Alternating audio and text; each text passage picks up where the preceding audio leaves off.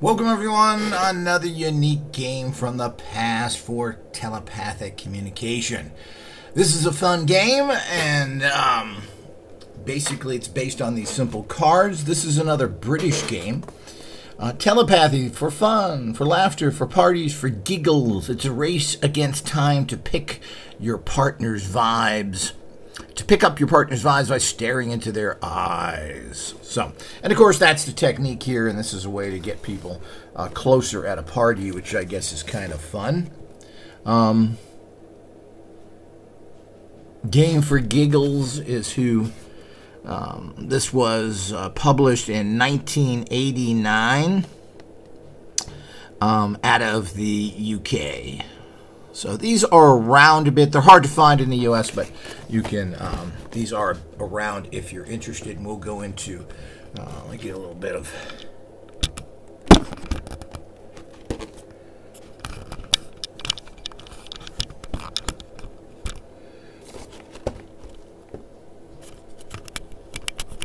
Closer look at the box here.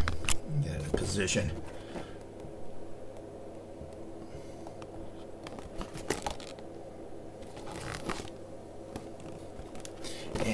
As I, let me see, did I show the back there clear enough? Let me go in there.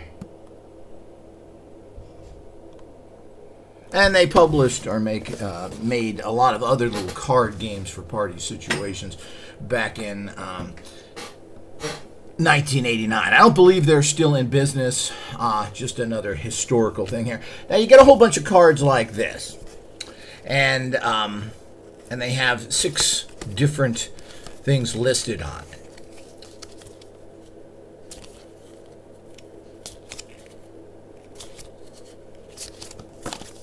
So they're endless. They're all the same. They all look like this on the other side. Uh, you get a scorecard. And here's the basic way to play it. I mean, you um, you take a card like this and place it between the sender and the receiver.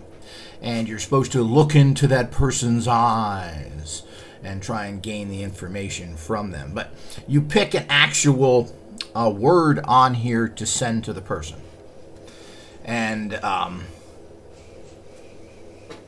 they have they look at the card as well. So you pick one, let's say passport, and then you turn it around and say, which one of these am I thinking about? And you look into their eyes. And again, it's just a send and receive of a particular word. It gives you a one in six chance that person.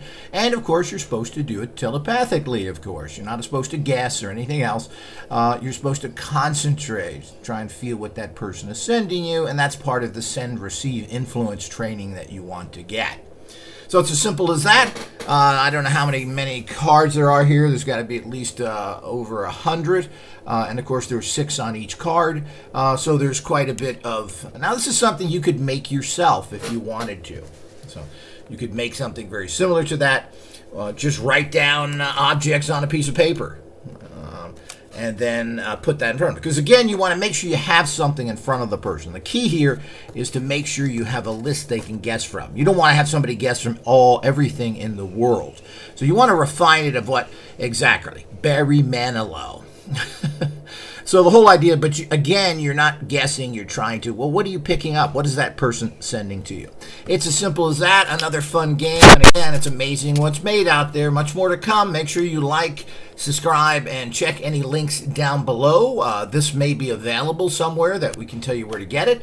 Uh, uh, or you can get one of our many tools as well. Thanks for watching. More to come.